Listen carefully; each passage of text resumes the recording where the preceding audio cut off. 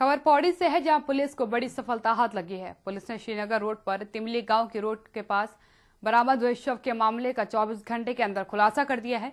Police ने मृतक की पत्नी और पुत्र को गिरफ़्तार कर लिया है। मामले में मृतक जो ड्राइवर का काम करता था, अपने परिजनों से परेशान था। माँ बेटे ने 11 जनवरी को गला घोट कर उसकी हत्या कर दी थी। वही दो दिन तक लाश को घर में रखने के बाद 14 जनवरी को तिमली रोड पर एक नेपाली मजदूर से फिकवा दिया था।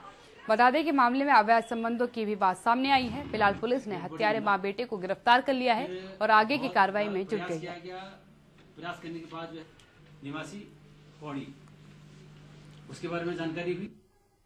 इस अभियोग में दो लोग एक तो मृतक जो सत्येंद्र नेगी है उसकी धर्मपत्नी सुमित्रा नेगी और उनका लड़का मोहन सिंह नेगी इन दोनों को गिरफ़्तार किया गया है। इन दोनों ने ही मृतक का मर्डर करने के बाद फिर 11 और 12 तारीख को घर में रखा और 13 तारीख को रात को अर्धरात्रि में डेड बॉडी को एक नेपाली के माध्यम से उन्होंने नीचे जो चौखंबा होटल है, उसके नीचे जो तिमली रोड है, डेड बॉडी को वहाँ डाला।